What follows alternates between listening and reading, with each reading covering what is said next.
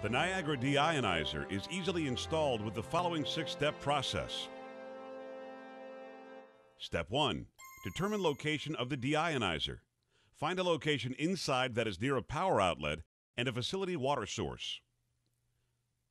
Step 2. Next, mount the bracket securely to a solid surface that is suitable to hold at least a 150 pound load. The bracket has two pre drilled holes that will accommodate customer supplied mounting hardware. The deionizer must be mounted in a vertical position. We recommend mounting the bottom of the deionizer bracket at waist height for ease of cartridge replacement. Next, install cartridge. Start by screwing the quick coupler fittings onto each end of the deionizer cartridge. Then, place the cartridge into the mounting bracket, ensuring that the top of the cartridge is pointed up. Make sure to secure the cartridge with retaining strap and connect hoses at quick couplings.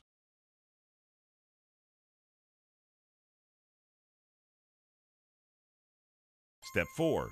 Plug the water quality light into an outlet that is GFCI approved and the correct voltage. The voltage requirements will be printed on the plug. Step 5. Connect inlet hose to water spigot and open fully to ensure full water flow and pressure are available to the deionizer. And the final step.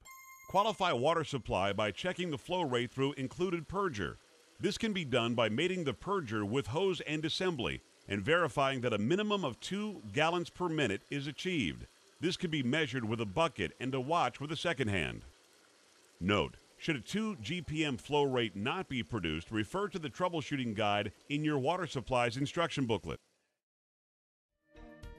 High quality water can now be obtained right from the tap with the Niagara deionizer. There is a six step process to use the deionizer for watering your batteries. First, be sure to open the water spigot completely. You should have at least a 2 gallon per minute flow rate through the purger. Step 2. Check the water quality light to ensure that your cartridge is not expelled. If the green light is on, you have acceptable water. If the light indicates unacceptable water quality, the filter cartridge must be replaced. Step 3. Then, remove the dust cover and connect the deionizer to your battery's water supply line. In the next step, observe the flow indicator it will slowly spin to a stop. This indicates that all valves have shut off and filling is complete. Step 5. With the indicator balls at a full stop, disconnect the couplers by depressing the push button on the supply line. And the final step. Be sure to replace the dust cover on the supply line. Slightly squeeze the cover before sliding it over the coupler to create a vacuum, allowing it to hold tightly.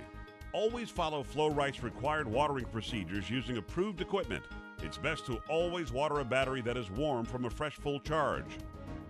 For heavy use applications, Flow-Rite recommends watering a maximum of once per week, and for light use applications, once per month.